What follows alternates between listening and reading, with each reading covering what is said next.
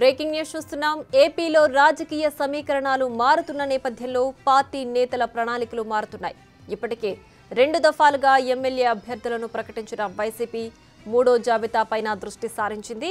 MP Mithun Reddy Sajjala రామకృష్ణారెడ్డితో CM Jagan సమావేశమయ్యారు. సంక్రాంతి పండుగ ముందే మార్పు చేర్పులతో వైసీపీ మూడో జాబితా విడుదల అయ్యే అవకాశాలు కనిపిస్తున్నాయి.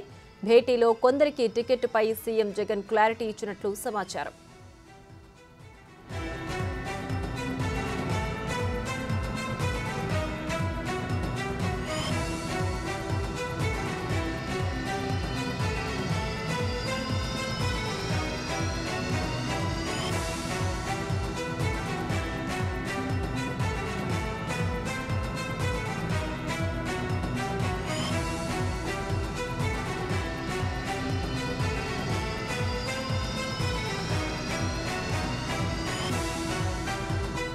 ఏపీలో రాజకీయ సమీకరణాలు మారుతున్న నేపథ్యంలో పార్టీ నేతల ప్రణాళికలు మారుతున్నాయి. ఇప్పటికే రెండు దఫాలుగా ఎమ్మెల్యే అభ్యర్థులను ప్రకటించిన వైసీపీ మూడో జాబితాపైన దృష్టి సారించింది.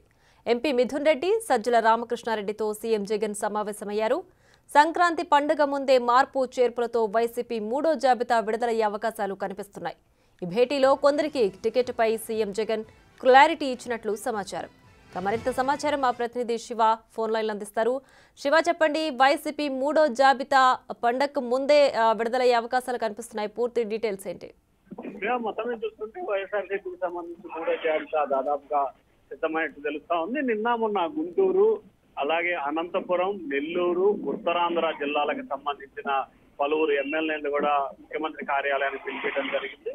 ఈ రోజు కూడా మరికొంతమంది ఎమ్మెల్యేలు ముఖ్యమంత్రి కార్యదర్శి సద్దలతో భేటీ అయ్యారు. రేపు సోమవారం మరికొంతమంది కూడా వచ్చే అవకాశాలు కనిపిస్తున్నాయి.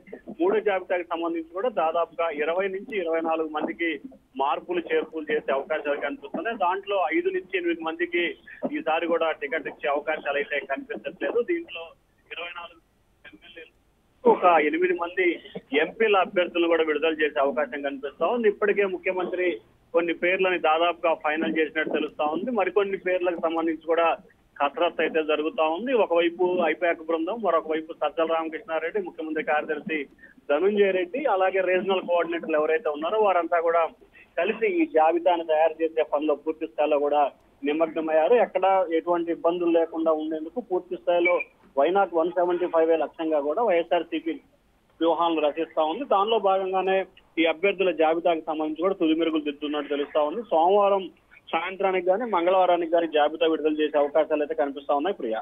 రైట్ శివ అయితే ఇప్పటికే కొంతమందికి ఎవరికి టికెట్ ఇస్తున్నామో అని ఒక క్లారిటీ కూడా ఇచ్చేసినట్లుగా తెలుస్తోంది. అయితే టికెట్ రాని సభ్యులకి ఏదైనా హామీ ఇస్తున్నారా? వాళ్ళకి సంబంధించి అసంతృప్తుల్ని బుజ్జగించే పని ఏదైనా చేస్తున్నారా? అసంతృప్తులకు సంబంధించి ఒకవైపు బుద్ధగించే ప్రయత్నాలు అయితే చేస్తా ఉన్నారు. కానీ విన్న వాళ్ళు వింటున్నారు. వినని వాళ్ళు మాత్రం వినకుండే వెళ్ళిపోతున్న పరిస్థితి కనిపిస్తా ఉంది. అయితే ప్రధానంగా చూసుకుంటే వైఎస్ఆర్సీపీకి సంబంధించి కూడా గెలిపే లక్ష్యంగా ప్రామాణికంగా చేస్తున్న పరిస్థితి కనిపిస్తా ఉంది. ఈ నేపథ్యంలో అభ్యర్థుల ఖరారుకు సంబంధించి మార్పులు చేర్పులు అయితే జరిగిన పరిస్థితి కనిపిస్తా ఉంది. దాదాపుగా ముప్పై ఎనిమిది మంది అభ్యర్థులని మొదటి రెండు జాబితాల్లో ఫిగర్ చేసిన ప్రభుత్వం మరికొన్ని జాబితాలకు సంబంధించి కూడా కసరత్తు అయితే ముమ్మరం చేస్తా ఉంది. ఇప్పటి వరకు కూడా దాదాపుగా చూసుకుంటే ఇప్పటి వరకు కూడా దాదాపుగా పద్నాలుగు మందికి హ్యాండ్ ఇచ్చిన పరిస్థితి కనిపిస్తా ఉంది. వారందరికీ ఇప్పటి వరకు కూడా టికెట్లు ఇచ్చిన పరిస్థితి లేదు. వారందరికీ కూడా ప్రభుత్వం అధికారంలోకి వస్తే ఎటువంటి అభివృద్ధి చేస్తాం ఏం చేస్తాం అనే దానికి సంబంధించి కూడా ఒక హామీ అయితే ఇస్తున్నారు. కొంతమందికి ఎమ్మెల్సీలు మరి కొంతమందికి రాజ్యసభ సభ్యులు తదితర అంశాలకు సంబంధించి కూడా చర్చించి ఒక భరోసా అయితే ఇస్తున్నట్టు కనిపిస్తా ఉంది. అయితే దాదాపుగా ఇప్పటికే రెండు రెండిటి కోటలకు సంబంధించి ముప్పై ఎనిమిది మందిని మార్పులు చేర్పులు చేశారు.